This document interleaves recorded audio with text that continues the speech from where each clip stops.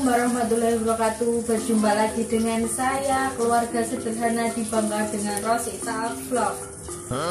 Oke untuk mengawali di pagi hari seperti itu Saya akan masak seperti biasanya ya lor Masak uh, mie Mie sama sawi di oseng Seperti itu. Terus goreng ikan bandeng sama tahu. Nah sisa sambal kemarin masih ya. Jadi lagi hemat kayak gitu ini sambelnya sambal pete begitu ya. Ini saya lagi goreng yang namanya iwak bandeng soalnya ikan di Pulau Bangka Belitung lagi kan ini ada apa namanya? Ini ya lor uh, gelombang tinggi jadi nelayan mungkin nggak berani ya mencari iwak kayak ngono. Jadi ini iwak jadi larang. Jadi aku beli bandeng tadi dua biji. Nah saya goreng buat lauknya. Oke kita lihat. Yeah, boy. jadi ini saya balik dulu si ikannya. Jadi sing sijine duduk iwak bandeng ya rek. Ikan laut soalnya ikan lagi mahal kok ora gelem miring ta iwake iki iki kurang A few moments later. Jadi kita roket ya rek. Jadi kita lanjut goreng tahu ya lur. Tahu bandingnya sudah matang, sambel. Wah, ini sambelnya lur ya. Oke ya lor, ini saya mulai goreng mie gorengnya. Jadi saya beli uh, mie gorengnya yang cap lombok, yang biasa itu, bukan mie instan ya. Terus ini bumbunya. Saya blender.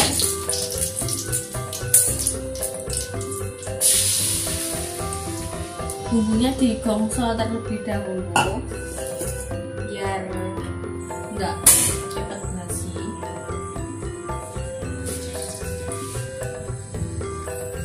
jadi bumbunya saya gongso dulu ya. Cabai cabai cilik berambang, berambang bawang sama daun jeruk eh maaf ya.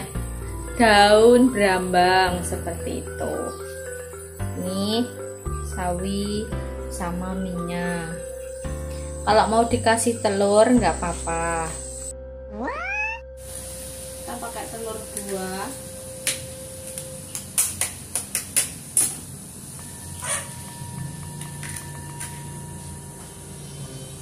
digedek nih gini nih setelah itu kita masukkan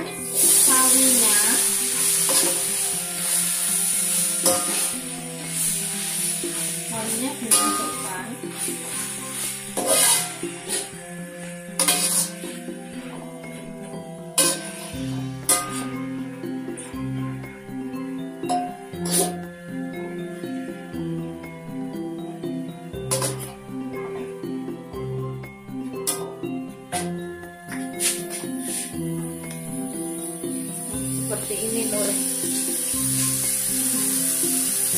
Uh, sawinya dimasukkan ditunggu sampai dia agak matang. Yang terakhir kita pakai mie.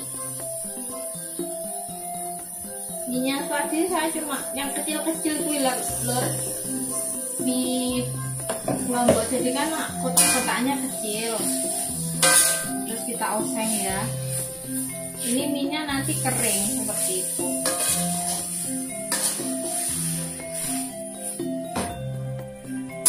Sebenarnya enak bumbunya digeprek cuma saya males geprek padahal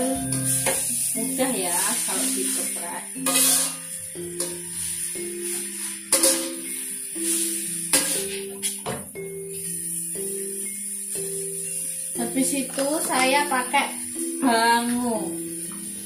Kecapnya saya pakai bangu ya. Setiap hari kalau masak eh, kecapnya saya sponsori bangu. Diaduk-aduk.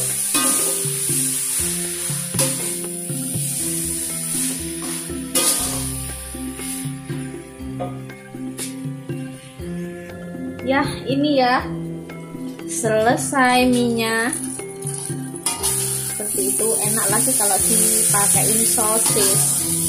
Ini sampai garing ya sampai kering ya. Ini memang saya uh, pakai mie kering seperti itu. What? What the fuck? Oke okay, lor uh, selesai. Terima kasih sudah menonton video saya duplikan sedikit jadi tahu rutinitas mak Rosi kuning bangka ngapain ya seperti ini ya kalau mak-mak jadi uh, mohon dimaklumi dan uh, saya kasih tahu lagi barang siapa yang bisa ibaratnya ngurui aku belajarin aku cara ngedit seperti itu tolong komen di kolom komentar seperti itu ya biar saya bisa jadi bagus gitu editannya. Soalnya kan saya masih pemula belum like, comment, subscribe, share di channel saya. Dadah saya ucapkan terima kasih. Wabillahi walidayah Wassalamualaikum warahmatullahi wabarakatuh